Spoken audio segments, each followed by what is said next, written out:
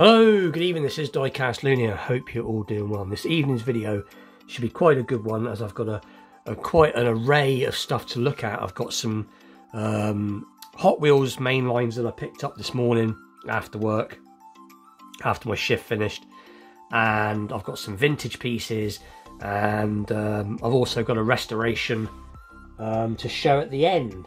So anyway, there's a little bit of something for everybody in this video. Um, some old, some new, and some restored. But anyway, we'll get straight into it and we'll take a look at what I picked up first. So as I said, after work, um, I had to pop to one of my local stores where near near to where I work, and I first of all came across this 55 Chevy Bel Air Gasser in the yellow. So very happy to find that, and this is one that as soon as I seen it, I can't remember where I seen it to now before, I thought I wanted to get it because I'd like to do a wheel swap and a detail on this as I like the colour. Um, I've just noticed it's got something on that corner. I'm just trying to work out what it is. Ah, it's got a paint run. That's quite funny. I thought it was a little light. Yeah, it's got a little lump there. At least I think it's a paint run. Let me just look off, a lot off camera a sec. Yeah, it's a paint error. So anyway, um, that doesn't bother me. But uh, yeah, I'd like to do a wheel swap and a bit of detail on this one. So do the grill and the lights and um, the engine and other various bits. But I do like this shape. So pretty cool to find it in the yellow. So that is pretty cool. So that's the first piece that I found. And as I said, when I was out um, in this particular store shop, I wasn't looking to buy anything um, particularly. I also found this 70 um, Dodge Hemi Ch Challenger, sorry, in green, which is pretty cool. And again, um, I thought about doing something with this, but to be perfectly honest, um, I actually like it as it is. I actually like it as it is with the wheels and the colour and everything, to be honest. Um, I may, at some point, just do the light detail on it and leave it alone. As I said, I think it looks pretty cool. I do like these, like I've said before many times, this steel effect wheels that Hot Wheels do. But uh, so pretty cool. So like I said, a little bit of details on the outside lights, and that will be perfect, I think. So that was the first two pieces that I picked up earlier. And then um, whilst I was, like I said before, sometimes after work on a Saturday, I do go, I come across a, um, it's like a, a, flea market, um, open air flea market, and he has all manner of um, vintage pieces, anywhere from twenty pounds. He has a twenty pound pound sort of area. He has five pound cars, and he also has um, two pound cars, and he has a box of cars that are like um, you know, just bits mainly. and they're usually like 50p a go. But anyway, I found some really cool pieces in the £2 um, box this week. So we'll take a look at um, what I picked up. So the first piece I got for £2 was this um, Badger. And like I said, I've done nothing to this yet. It's a Rolamatics Badger. Um, it could do with a bit of a bit of a clean, just get the dust off really. But for £2, this is in really good condition. And I sometimes wonder why he sticks these in the £2 section, to be honest. Because, you know, it's, it. From, I mean, like I said, like, it's got hardly any marks on it. This is what I call, this is a prime example of what I like to call a survivor car. A car that's seen a bit of action, seen a bit of playtime, but it's it's managed to last. It's got a little bit of wonk to the wheel, but I can straighten that no problem off camera at some later point. But like I said, it's a it's a it's a cool thing. I do have, if I just bear with me a second, I do have the other version. There's a few different variations of it. So this is this is one I picked up at car boot sale a, quite a while ago now, and I paid about two pound for this, funnily enough. And as you can see, it has got some paint chipping, but again, it's not in bad condition. It's it's it's it's above play worn, so, but anyway, this is the one we're looking at. Um, this was these. I think this these were the later ones. I think these were bordering on about 1980. These particular ones. So I found the Badger first, and then I found this really cool little tank with its tracks still, which, which haven't rotted to pieces yet, which is unusual. They do still move. I think if you, it does actually make the gun go up and down. The tracks are a little bit stiff, but like I said, they are. I can't see any splits in them, which is unusual from something that's, you know, sort of 78 copyright. So probably would have come out about 1918, 1979. But this one's known as the. So it will look. SP gun. Is that right? SP gun. So anyway, happy to find this. Um, not really a military collector, but I've just ended up coming across these, and the, and the main reason I was happy to find these two particular pieces is because in my collection I do have, I think this one's the Weasel, and this particular one I've actually got the box to it still, and I and I found this still blistered. So, and I got this for a fiver quite a, a couple of year ago now. I have shown this before a few times in the past, but this is the Weasel, which just in the Rolamatics. They are working, just a bit slippery. Let's try that way. Should. There you go. So I've got this. I've got a newer version of this as well. I've actually got a, um, a lot newer version of this in a, I think it's a Tyco 5 pack, quite a few years later after this. But this is obviously the original. So that's pretty cool. And I've also got the Scout car. And again, this this was I've had this I bought this in its blister pack still, so I was the first person to open these two particular pieces. These these these two were the first two pieces I came across, and just mainly bought them just because they were in such nice condition. So again, all from the same sort of era, sort of about 1980, 79, 80. And then I've also got this. I've got two of these, funnily enough. I've got one in slightly tattier condition. Not much. I think the sticker's missing uh, maybe a chip on the side. But um, I've got this, and again, this is from the same sort of era, same sort of uh, set, I believe. So this is obviously a little Jeep, little uh, I think it's a Willys Jeep. So a little look upside down. to it just says Jeep. But again, I come across this at a car boot sale.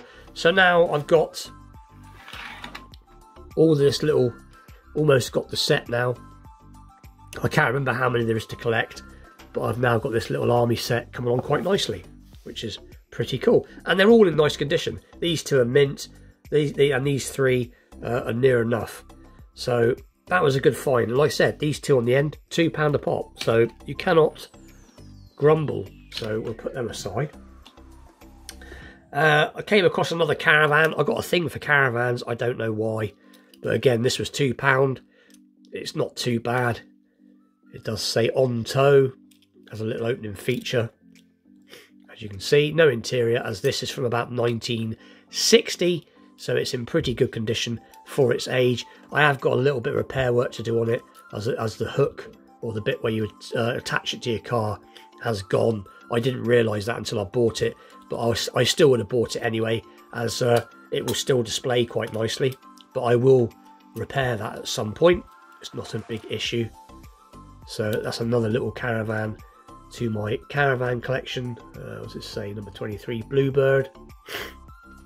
So that was cool. And then the last of the vintage bits is this really little cool Husky. And this is a prime example of being transported back to your past.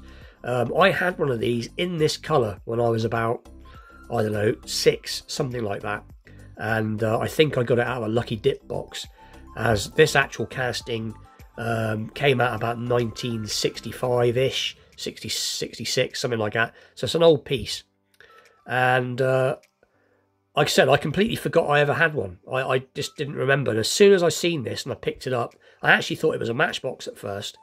And then I seen these little plastic back doors, and I was basically, let's see if we can get them open a second, hang on, propelled back to my childhood, and I suddenly remembered that I had one of these, and, and I used to like stuffing bits of plasticine and bits of broken up matchstick and stuff in the back and see how much I could get in there. Uh, this is based on the, I think it's a Ford Te uh, Thames, a little look, it should say Ford Thames van. And it's in pretty good nick.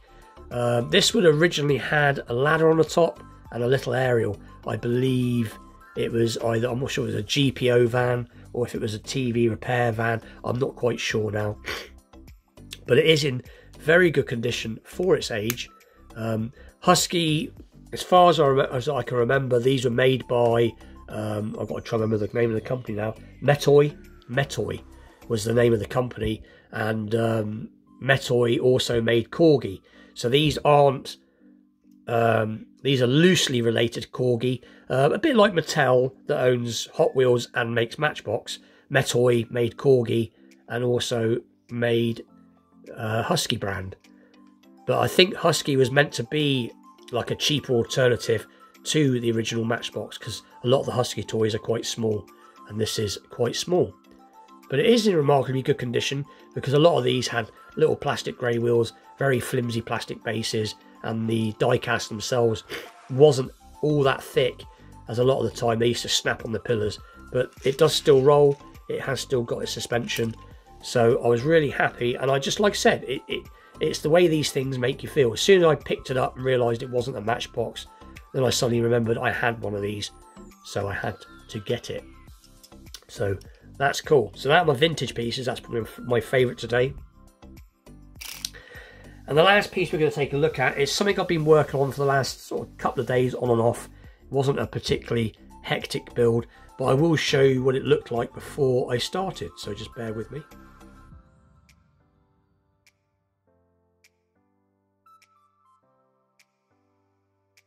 And here it is now. So it is the, I forgot what this is called now, it, it is the, let's have a little look. It just says Matchbox Series. I know it is a wrecker truck. So, as you can see, I didn't I didn't bother. I have been asked to make show what I do, and I and I will do in the future. I will do um, like a tutorial showing the step by step. Um, I've almost got my shed finished now. I've got a new. I'm setting myself up a little spray area and work area now in in a shed. So I will start doing some filming and showing what I do. But but as you can see, it was in a bit of a tired state. Um, it had no hook on the back. The hook was got well, the hook was there, but it was all broken, and the light was all chipped, and the glass was all scratched, and it was pretty tired. So all I did was strip it down. Obviously, gave it a coat. Now I, I didn't have any red here. I was thinking about doing it BP colours, and then I thought about doing it Esso colours. So I thought, no, I've got yellow and white at the moment. Let's do it in a shell livery. So Obviously it's had a paint, shell tampos on the side and the front, as you can see. And obviously again around this side, and a little miniature one on the back underneath the hook. There you go. But simple. So this is technically classed as a custom still because it's not its original colour. But I didn't want to do any detail on it. So no rear lights and no front lights. I just wanted it restored and um, I gave the I gave the wheels a rechrome. So basically, it's had a good clean up and a rechrome and a repaint. So and uh, obviously the lights now being painted red rather than the original sort of uh, greeny blue color window. So I'm really happy and it rolls nice now. So that is that. So so that is today's video. Like I said, something for everybody. Bit of bit of uh, old, bit of new and um, like I said, this awesome little wrecker truck at the end. But anyway, with that, please like, share, subscribe. Stay tuned for more vintage pieces and wheel swaps and uh, restorations and customs and all that good stuff to come. Um, I've got a, I've, I've, I've finished my Maple Leaf um, anniversary invitational Porsche build, but I will probably show that closer to the time I'm itching to show it because I'm really happy with the way it turned out. The paintwork has turned out awesome on this particular one, but like I said, I want to leave it a little bit closer to when it's uh, more the time to show the cars. But anyway, with that, I'll see you all very soon. Thank you for watching.